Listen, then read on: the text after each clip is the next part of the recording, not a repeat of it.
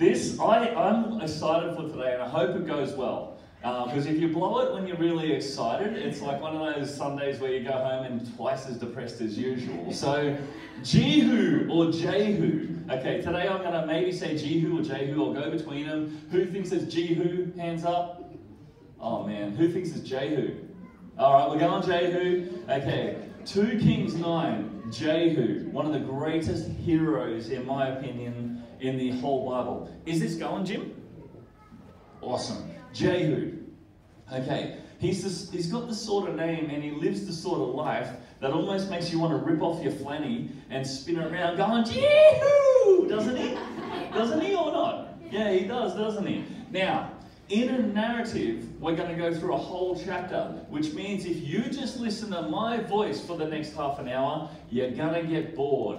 So, the way we're going to do it is that I'll read the first slide, and then from then on, every slide that comes up after that needs a volunteer to stand up and read it out. Okay? If you can't read it, it's just one per slide. If you can't read it from the screen because your eyes it's too far away or whatever, just read it out of your Bible. Okay? Let's not do that awkward thing where we sit there and wait for somebody else. There's only like 10 or something, so we'll take turns, and if no one goes, I'll keep going, and then you'll be like, gee, we hear Dave a lot.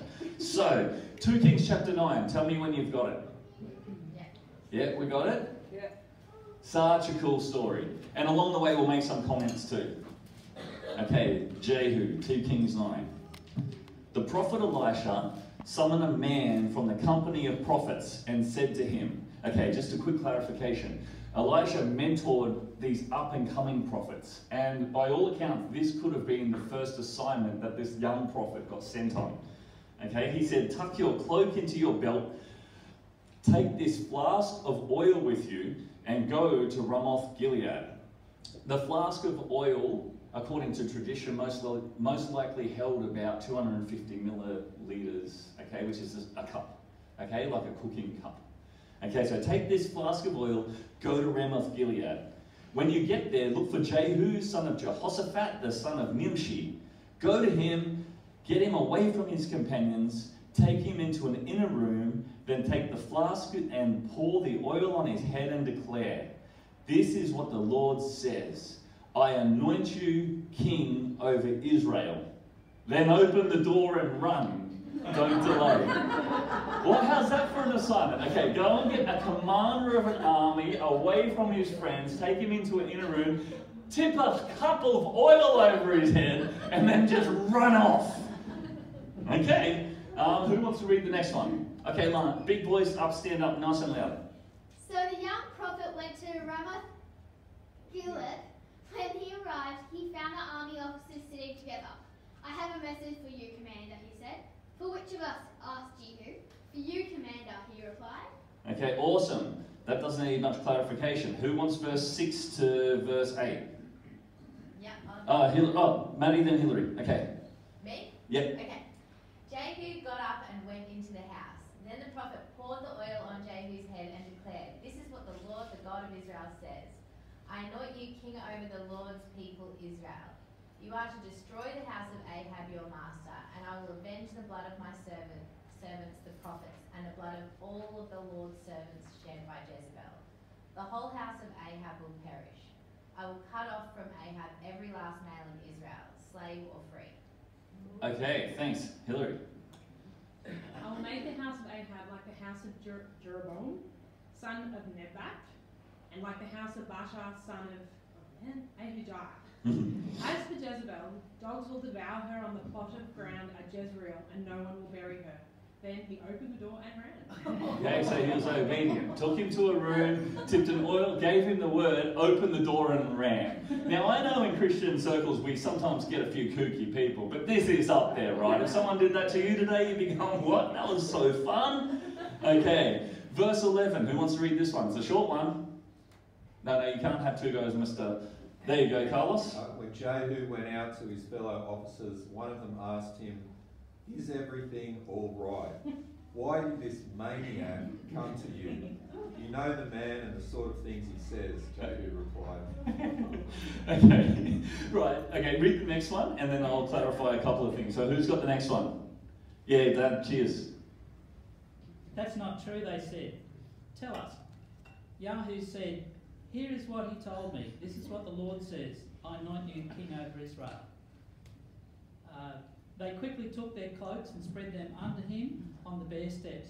Then they blew the trumpet and shouted, Yahoo is king. I like how he's Yahoo now. right? Okay, I love this. Okay, so he gets a, a cup of oil tipped over his head. Okay, and then he comes back to the fellas in the room and they say, What did that maniac want? He's like, Nothing. I mean, could you imagine your friend? Like, if I anointed you with a cup of oil, you come back, you're slipping over yourself, you're glistening, like you are covered in oil. What do you want? Nothing. Right? What happened? Nothing. They're like, That's not true. Tell us. Jehu said, The Lord anoints you king of Israel. And do you see their reaction to that? They're like, Oh, yes! Their coats off and they're like, Jehu is king. Right? There's this authority that comes with the anointing that he has. Hey, I love it. Okay, verse 14. Who wants to read this one? It's a long one, but geez, it's a good one. Yeah, Tone. So Jehu, son of Jehoshaphat, son of Nimshi, conspired against Joram. Now Joram and all Israel had been defending Ramoth Gilead against Hazael, king of Aram. But King, but King Joram had returned to Jezreel to recover from the wounds the Arameans had inflicted on him in the battle with Hazael, king of Aram. Jehu said, If you desire to make me king, don't let anyone slip out of the city to go and tell the news in Jezreel. Then he got out, sorry, got into his chariot and he rode to Jezreel because Joram was resting there and Ahaziah, king of Judah, had gone down to see him. Thanks, Tone. You see something cooking here? That's what I love about the narratives and the stories. They're so detailed, especially in Kings and Samuel. Like it's something's happening. Jehu's gotten into his chariot. He's starting to head there. Okay. Uh, verse 17. Who's going to do this one? We're running out of the willing volunteers. Soon it's going to be the designated volunteers. I'll, I'll do it. Yes. Then he went into his chariot and rode to Jezreel, because Joram was, re- oh, sorry. When the lookout standing on the tower in Jezreel saw Jehu's troops approaching, he called out, I see some troops coming. Is that all? No, no, the whole, that whole. Get a horseman, Joram ordered, send him to meet them and ask, do you come in peace? The horseman rode off to meet Jehu and he said, this is what the king says, do you come in peace?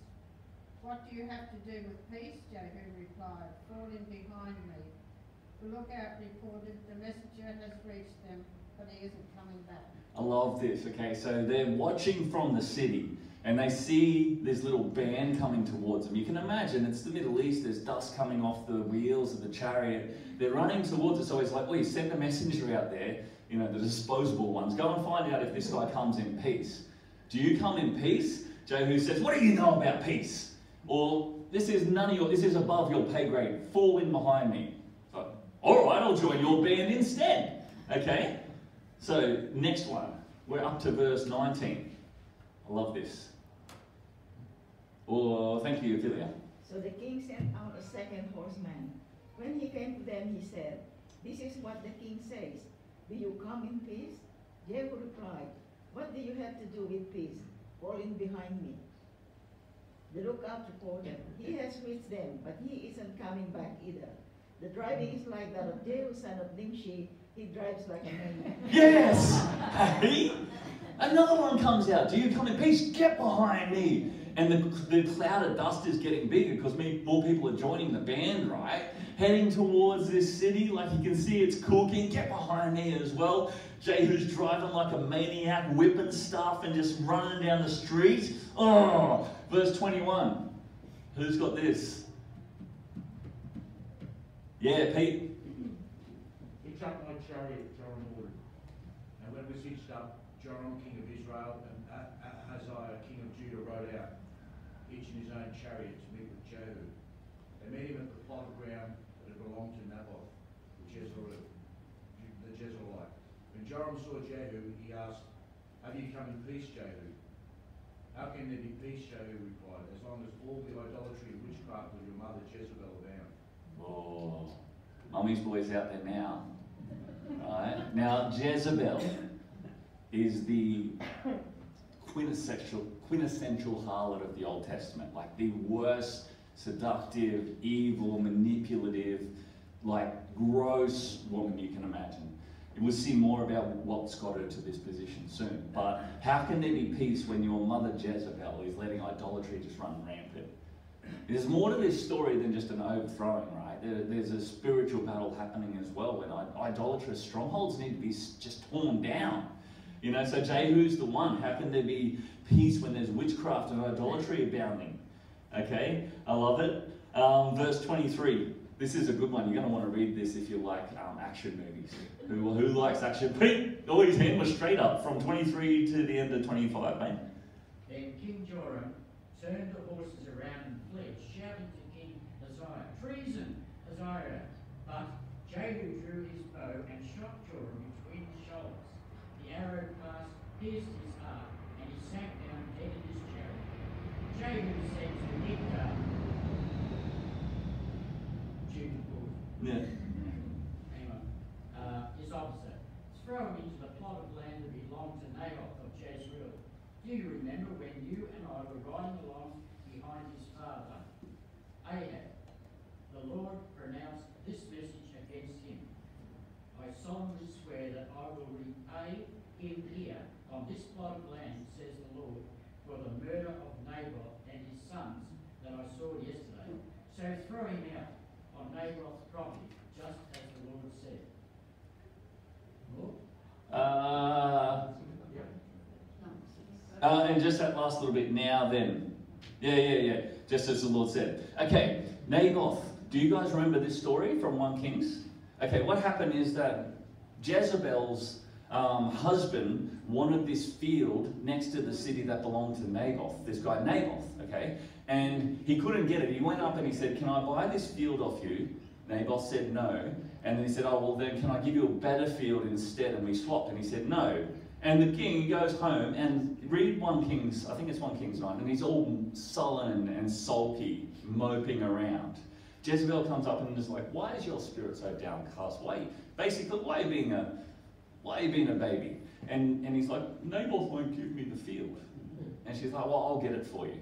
And what she does is set up like an ambush, and then in the ambush, she sort of gets these two, and it says scoundrels in the biblical language, to accuse him of blaspheming God. And so he ends up getting killed, and um, Jezebel gets him killed, goes home, and says to her husband, Okay, the field's yours now, you can go and claim it, which was allowed according to the custom. Okay? And so at that time, there's a prophecy saying this field's going to come back, and the people who stole it will get the vengeance they deserve. One thing I like about the Bible is when it all lines up like this. Elijah even hears about it and gives the prophecy. Elijah says, um, This is what the Lord says Wasn't it enough that you killed Naboth? Must you rob him too? Because you have done this, dogs will lick your blood at the very place where they licked the blood of Naboth. Okay, this is a prophecy before today's event. Keep that in mind because something's coming that's going to fulfill this. Okay, so it's in that same field that this guy gets shot and dragged to the side. I love it. Okay, uh, verse 27. Verse 27. This is why the Bible is alive. When I first got saved, I read 1 and 2 Samuel, and I was like, whoa, this is such good stuff. Okay, who wants this one? I'll do one more then, you can get your courage up for the next one. So when Ahaziah, king of Judah, saw what happened. He fled the road to Beth Haggan. Jehu chased him, shouting, Kill him too! They wounded him on his chariot on the way to Gur near Ibleam, but he escaped to Megiddo and died there. Does anyone find that a little bit ironic? Because Megiddo is also known as Armageddon, and so he escaped there to get away, but that's where he died. Love it. Um, his servants took his chariot. Uh, took him by chariot to Jerusalem and buried him with his ancestors in the tomb in the city of David in the 11th year of Joram, son of Ahab, as Ahaziah had become king of Judah. Okay, so it's nearly coming to an end. So if you want to read, now's your chance. Who wants to read this last bit? Starts getting good. Prophecy coming to pass. Verse 30. Who wants it? Yeah, Thomas. And Jehu went to Jezreel When Jezebel heard about it, she put on eye makeup, arranged her hair, and looked out of a window. As Jehu entered the gate, she asked, Have you come in peace, you Zimri, you murderer of your master? What a detestable woman. I can't stand her, man. Putting on eye makeup and arranging her hair, looking down, you, Jehu. Do you know what I mean? Just that seductress. Can't stand it. Okay, so have you come in peace, you murderer of your master? And then, oh please, someone, someone who, no, you can't. You've already had a turn. Uh, you don't want to read this part anyway. 32, you want to read this part. Okay. He looked up at the window and called out, Who is on my side? Who? Two or three eunuchs looked down at him. Throw her down, Jehu said. So they threw her down, and some of her blood splattered the wall, and the horses, as they trampled under her, uh, trampled her underfoot. Alright. Who's on my side? And they're like, us! What does the New Testament say? Some are born eunuchs and some are made eunuchs. I assume these are from the second um, group of people that have been made eunuchs to serve the queen. Now, who's on my side? Yes, we finally get our revenge. I love, with one word from an anointed authority of man, who's on my side, they grab the queen, absolute treason, and just piff her off the edge of the, the, the tower. Splats, blood, horses trampling, prophecy fulfilled. It's awesome. Okay, verse 34. You got to read, yeah. Jehu went in and ate and drank. Take care of that cursed woman, he said, and bury her, for she was a king's daughter. But when they went out to bury her, they found nothing except her skull, her feet, and her hands. Yeah. So he's just sitting down for a bit of wine and some food, and in that time she's been reduced to some skull, feet, and hands. Uh, verse 36 as we start rounding it out. It's the, it's the last one. You, you, you're going to love it. Bros, you take it home. They went back and told Jehu, who said, This is the word of the Lord that he spoke through his servant Elijah the Tishbite. On the plot of ground at Jezreel, dogs will devour Jezebel's flesh. Jezebel's body will be like dung on the ground in the plot at Jezreel, so that no one will be able to say. Wow. I, I want to say not like dung on the field, actual dung. Like dogs ate her and then digested her all over the place. Like that's what happens to someone who stands against God, right? This is, and this is a prophecy of Elijah coming to pass. Now you might be thinking, what the heck are you thinking, Dave, bringing a story like that to church? Well, first of all, it's in the Bible. Second of all, it's a good encouragement to us who, at this point in time as a church, are seeking what it's like to be called by God. You know, we've just been going through Romans, and we, uh, we, we've been, we got our theology straight when we looked at the first half of Romans. We were reminded that it is by grace we've been saved, not as, you know, not by our works, it's a gift so that no one can boast. And then the second half of Romans is, okay, well, what do you go and do about that? And it's live a missional life empowered by the Holy Spirit, changing lives. And then we start getting examples from people like Jehu who just go and get about the business of the kingdom. Jehu was nothing, he wasn't more or less special than you. He wasn't more or less called than you. He wasn't more or less gifted than you. He could very well be someone sitting in our midst here.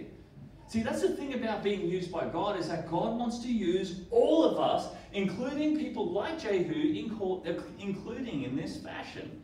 Most likely, you're not going to have the thrill of going to physically overthrow a kingdom, shoot someone in the back with an arrow. All that stuff's probably not in your wheelhouse. It might be, I don't know you all that intimately. But you're still called to be obedient the same way Jehu has been called. We all are called. And so when I read stories like this, this isn't just some distant memory or something that happened 1000 BC. This is our heritage. This is what it looks like to be an obedient man and woman of God. Someone who stands up for what is right, someone who stands against evil, someone who says yes to God's call, and someone who walks in the authority of their anointing. That's what we see here. Okay, so I'm going to give you some of my observations, what I learned from Jehu, and then you're going to have a little chat or a think about what you learned from Jehu. Okay, the first thing I learned is that when God calls, it's time to listen and obey.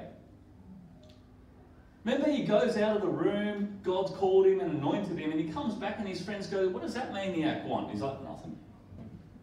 I think sometimes we do the same thing. Like, God's put a call in our life, and people say, Oh, what are you called to do? Oh, nothing.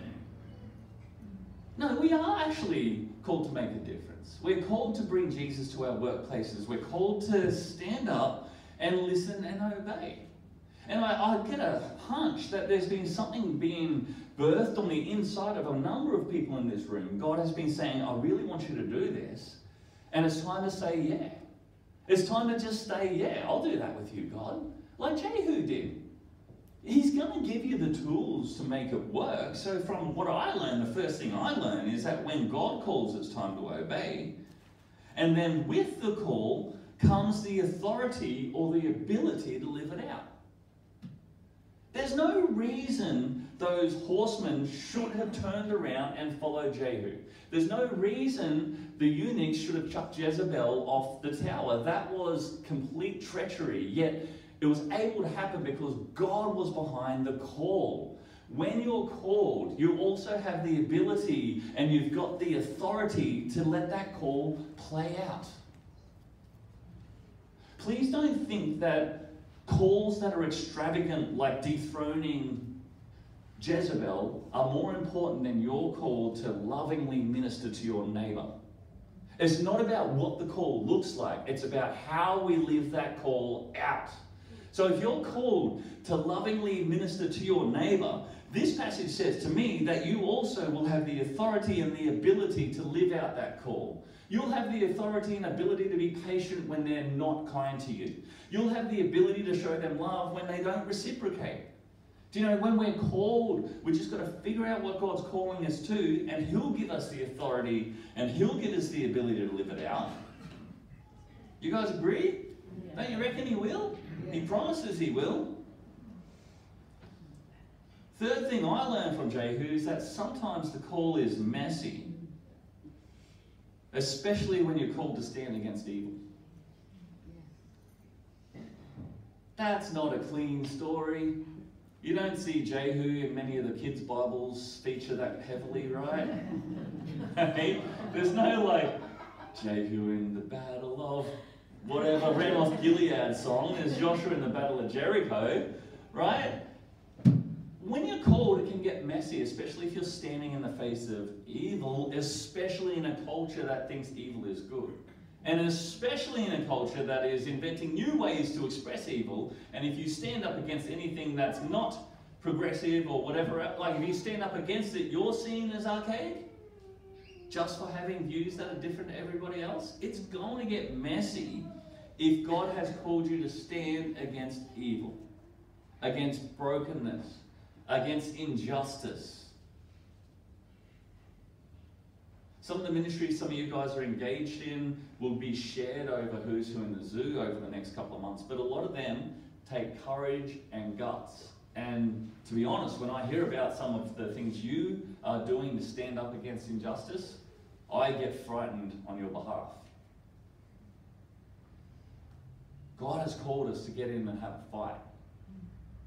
You know, when Christians stop fighting against evil and start and stop fighting against the forces of the enemy, we start fighting each other. As soon as the church loses its call to be obedient and starts losing its fight against the enemy, we'll fight each other and destroy each other. Any church that has ever split, you can trace it back to a time when they got apathetic about the kingdom when they got apathetic about mission, when they started focusing on things that don't matter. Remember last week's sermon? We're not going to do that. We're not going to focus on things that are divisive. We're going to stand together and fight for the kingdom. And if we ever stop doing that, if we ever start fighting each other, it means we've forgotten that there's a bigger fight against injustice, against brokenness. So I learned that from Jehu.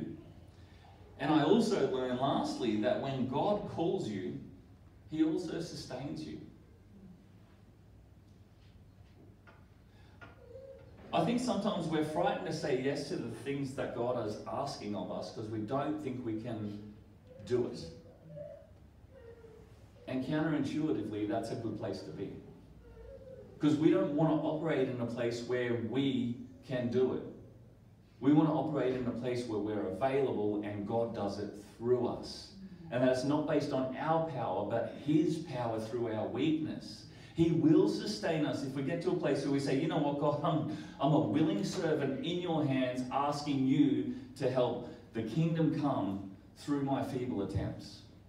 God's not looking for perfect people today. He's looking for willing people and He's wanting to sustain you. Isn't that exciting? His sustenance, His nourishment, His nurturing is just waiting there for your taking. Just step out and say, let's go. There's a lot to learn from narratives like Jehu. And they're just four things I've got by spending one week in the passage. I want to encourage you as we go through this series, start digging into the characters. In chapter 10, the saga continues. It's pretty much more of the same with Jehu. He gets killed in, in a little while. I mean, you can't live a life like that and last too long. But like he's in chapter 10, same thing, just, you know, obedient and ruckusly for the kingdom. These are some of you in this room who are called to be a bit ruckusy in the kingdom, ruffle a few feathers, you know, break down a few religious strongholds, mess with the people's misconceptions of Christianity. That's okay. We're not all called to be clean cut. Do you know what I mean? You're allowed to be messy. Jehu was messy. You're allowed to be in the fight. You're allowed to be in the work site and bring your real you. Mm. I mean, one of the worst things we do sometimes in Christianity is minimize the raw like enthusiasm that we're born, that God has infused in us, and, and diminish that to just be good humans, where God's called us to be bold humans.